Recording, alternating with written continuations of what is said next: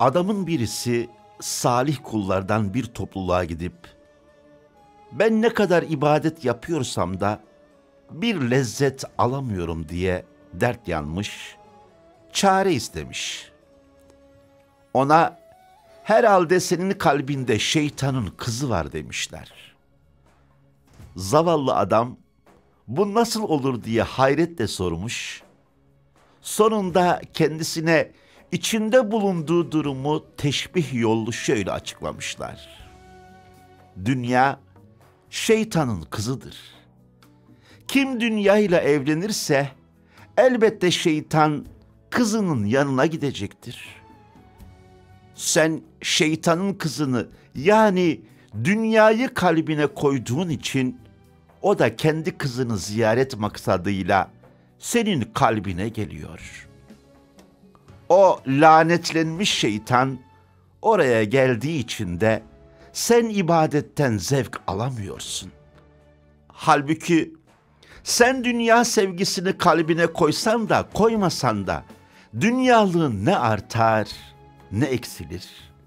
Yani dünyayı sevmen dünyalığını arttırmaz.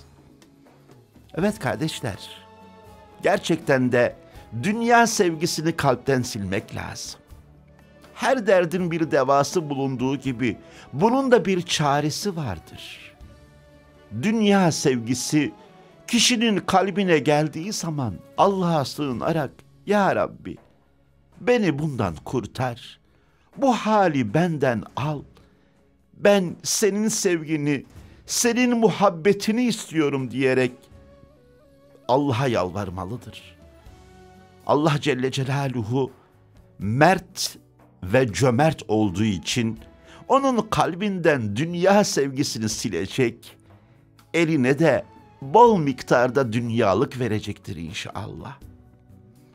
Elimize aldığımız yemek dolusu bir tabağı düz bir zemine koyduğumuzda nasıl içindeki yemek yere dökülmez, tabağı yan tuttuğumuzda ise yemek dökülürse biz de biz de kalbimizi Allah'ın rahmetine, ihsanına, bağışlamasına o şekilde dümdüz bir şekilde aşmamız lazım.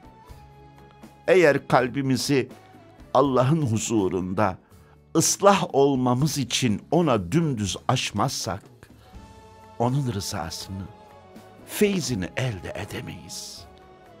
Çünkü o bize değil, biz ona muhtacız. Allah'a emanet olun.